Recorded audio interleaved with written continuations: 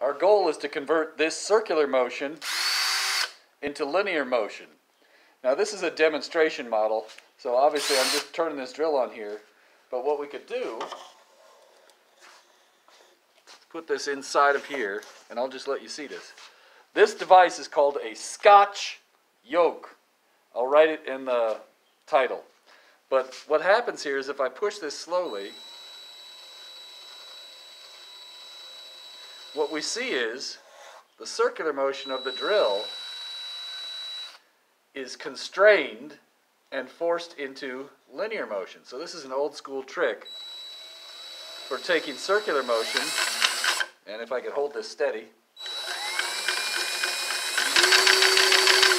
you can see this could be useful for converting circular motion into linear motion. That's it.